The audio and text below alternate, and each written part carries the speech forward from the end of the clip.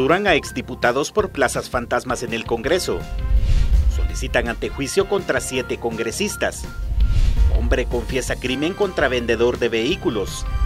Barack Obama señala ignorancia de Trump respecto a asuntos internacionales.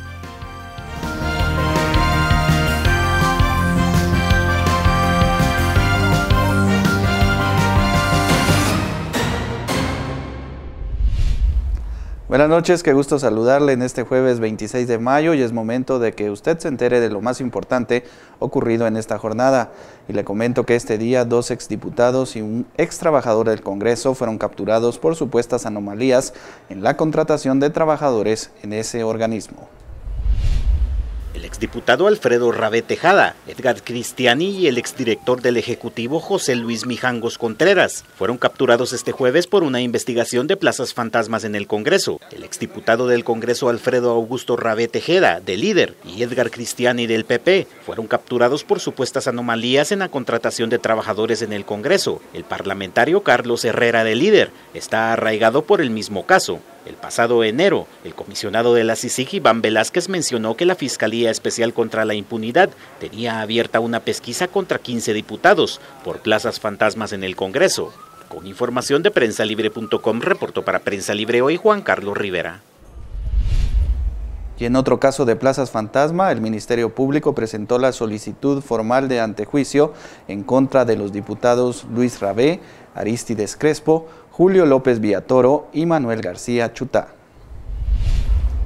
El Ministerio Público presentó este jueves la solicitud de antejuicio en contra de siete diputados, quienes integraron la Junta Directiva del Congreso durante la presidencia de Luis Rabé, señalados por supuestamente ordenar la contratación de personas que nunca efectuaron labores. Los señalados son Luis Rabé, Aristides Crespo, Julio César López Villatoro, Selvin García, Carlos Emiliano Fajardo, Manuel García Chutá y Carlos López Girón. Gestión Penal remitió los expedientes a los juzgados segundo, tercero, sexto, séptimo, octavo y undécimo de ramo penal, los cuales tendrán que remitirlos a la Corte Suprema de Justicia. Con información de Gerson Ramos, reportó para Prensa Libre hoy Juan Carlos Rivera.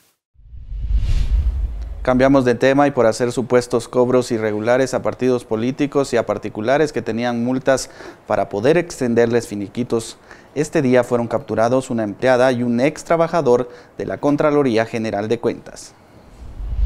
Una empleada y un ex trabajador de la Contraloría General de Cuentas fueron detenidos por la Policía Nacional Civil acusados de los delitos de abuso de autoridad, alteración de registro informático y apropiación y retención indebida. En el interior de la Contraloría fue arrestada Rita Ileana Muñoz Jiménez, de 55 años, mientras el ex empleado Max Rolando Ruano Ramírez, de 32, fue capturado en residenciales del norte, zona 18. Ambos trabajaban en la sección de informática y según las investigaciones, estos cobraban por eliminar información de partidos políticos y personas particulares que tenían multas en la Contraloría y luego les emitían los respectivos finiquitos. Con información de Byron Vázquez, reportó para Prensa Libre hoy Gabriela López.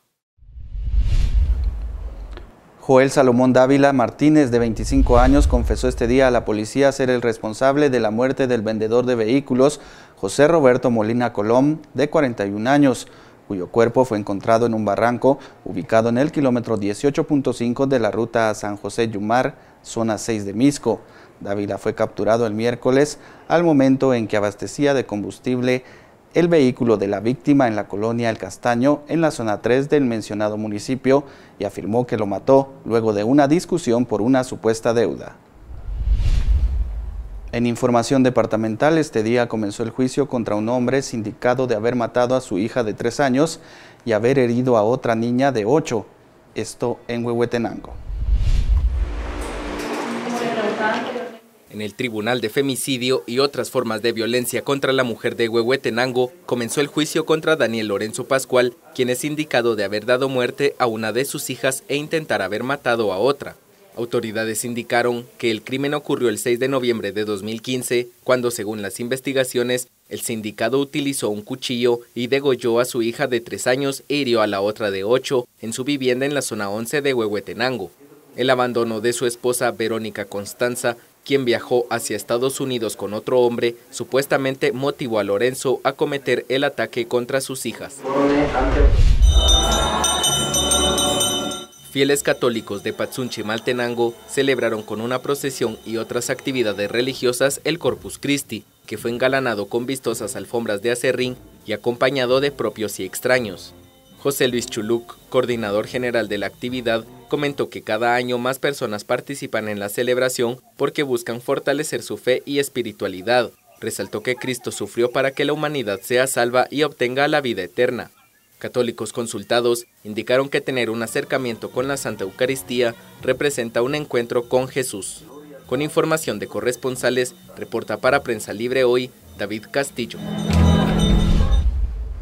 Internacionales, el presidente de Estados Unidos, Barack Obama, arremetió contra Donald Trump y señaló la ignorancia del candidato republicano respecto a los asuntos internacionales. Estados Unidos. Barack Obama arremetió el jueves desde Japón contra la ignorancia respecto a los asuntos internacionales del candidato republicano Donald Trump, que intenta sucederlo en la Casa Blanca. Muchas de las propuestas que ha hecho demuestran o bien ignorancia respecto a los asuntos internacionales o bien un interés en conseguir tweets y titulares.